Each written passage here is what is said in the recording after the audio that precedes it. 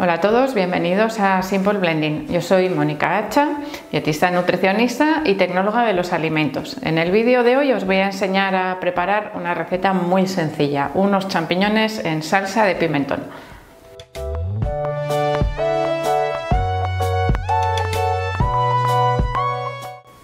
Hoy os voy a enseñar a preparar una receta de esas que son un poco comodín. Voy a preparar unos champiñones en salsa de pimentón que podemos utilizar para acompañar un plato de carne, de pescado, de huevos o para eh, mejorar o combinar con pasta, con patatas o con arroz para preparar un plato más completo. Y de esa manera, bueno, pues el famoso batch cooking, ese que preparamos un poco a trozos las comidas y después las juntamos para, para llevarlas al trabajo o para tenerlas medio preparadas cuando llegamos a casa.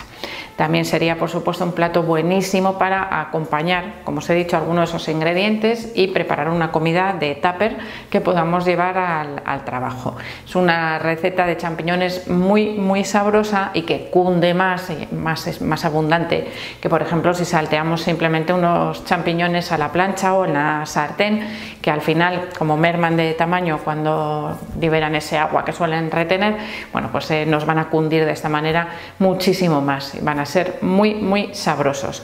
Hoy voy a utilizar el robot de cocina, la My Cook Touch de, de Taurus para prepararlo.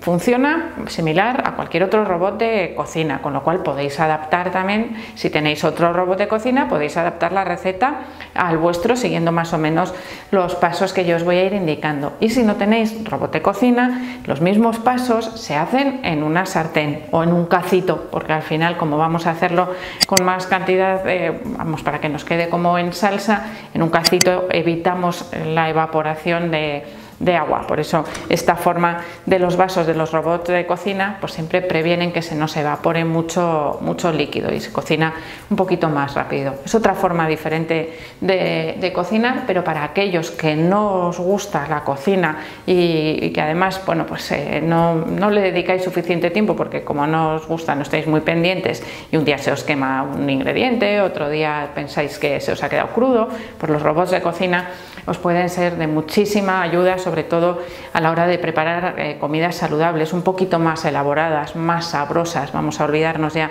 solo de los filetes a la plancha con lechuga, que son muy, muy aburridos.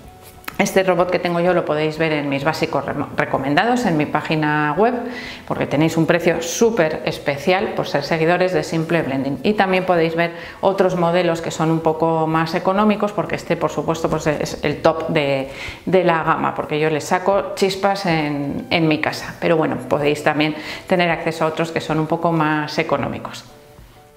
Cuando vayáis a utilizar un robot de cocina os hago una recomendación, todos los ingredientes preparados antes de comenzar, porque si no vamos a estar teniendo que parar el programa o haciendo tiempos muertos y vamos a tardar mucho más. Así que lo primero que voy a hacer antes de empezar es añadir el aceite de oliva, que sea más o menos unas dos cucharadas. Lo voy a hacer en modo manual, pero estoy segurísima de que si vosotros no os atrevéis a hacerlo en modo manual vais a encontrar un montón de recetas que ya están programadas, facilísimas de utilizar porque solo hay que seguir los pasos que te va indicando el, el aparato, o sea que es súper fácil.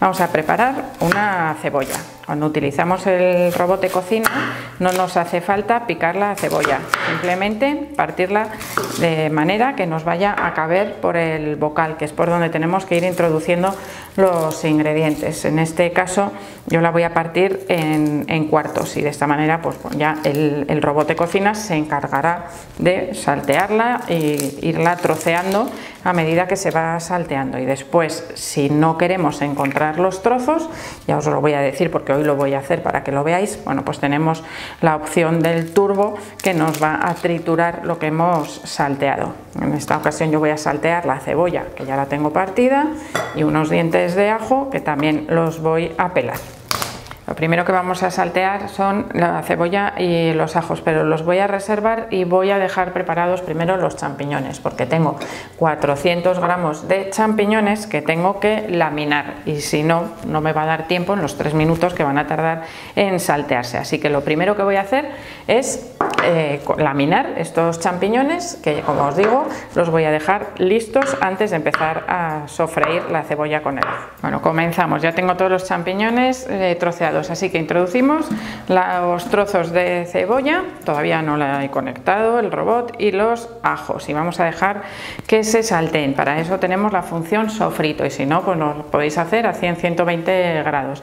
Le voy a poner el tiempo durante 3 minutos y vamos a hacerlo, como os he dicho, en función sofrito.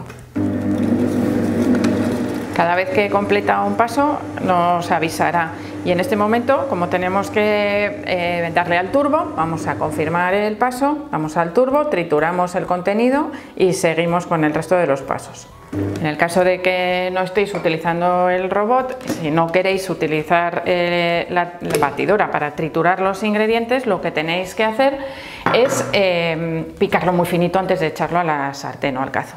Lo que voy a hacer ahora es poner la, paloma para que eh, no me triture los champiñones, sino que los vaya haciendo girar. Y aprovecho que lo tengo abierto para añadirlos mucho más fácilmente.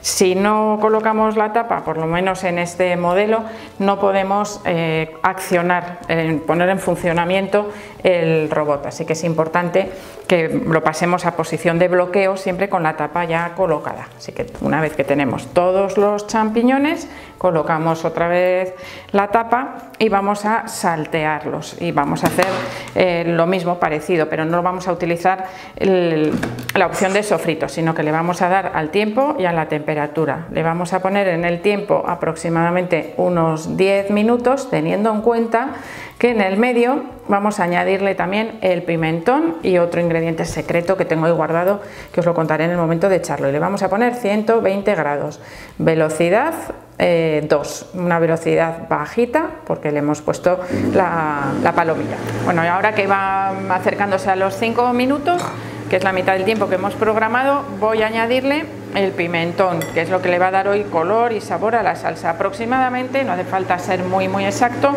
aproximadamente media cucharadita. La vamos introduciendo para que se vaya mezclando con el resto de ingredientes. Y vamos con el ingrediente ese secreto que tengo ahí guardado. Le voy a añadir harina de almendras. A estas recetas se les suele añadir pan rallado muchas veces para darles un poco de textura.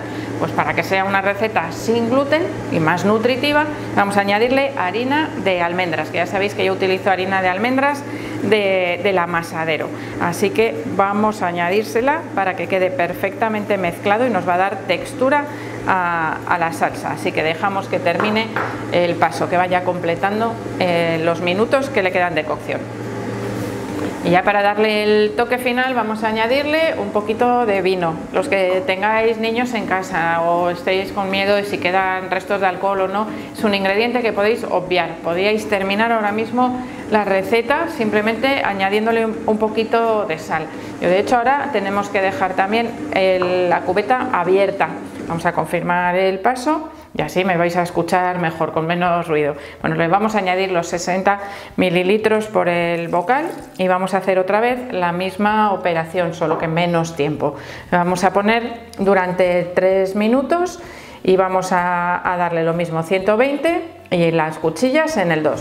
Le añadimos también un cuarto de cucharita de, sal. Ya sabéis que al añadirle ajo y cebolla conseguimos reducir también la cantidad de sal que se necesita.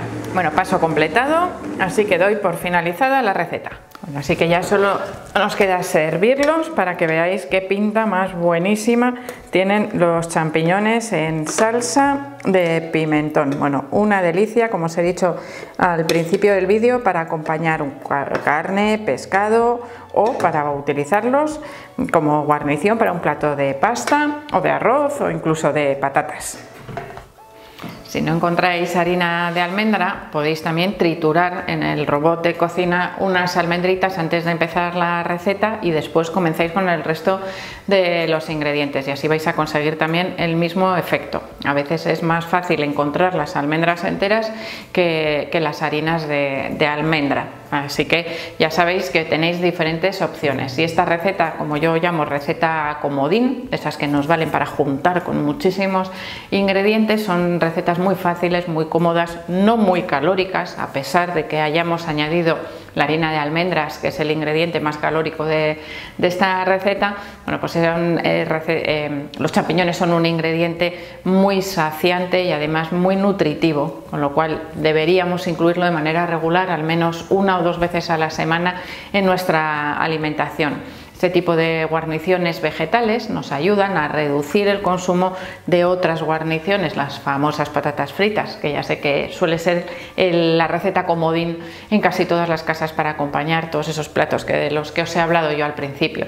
Sin embargo, os habréis dado cuenta que yo aquí he utilizado las patatas como ingrediente complementario de estas de estos champiñones en salsa, porque es una combinación muy buena, pero utilizando las patatas asadas o las patatas cocidas, no patatas fritas, que nos van a aumentar mucho el contenido calórico de esta receta. Así que espero que os guste, que la pongáis en práctica, tanto si tenéis robot de cocina como si no lo tenéis, ya sabéis, seguís todos los pasos que os he indicado, pero en un cacito y removiendo a la manera tradicional. Así que no me digáis que no la podéis hacer. Y también, por supuesto, espero que le deis al like, que me sigáis en el canal, que no dejéis de suscribiros. Podéis seguirme también en Facebook, en Pinterest, en Instagram o en Twitter y espero seguir viéndoos a todos en los siguientes vídeos.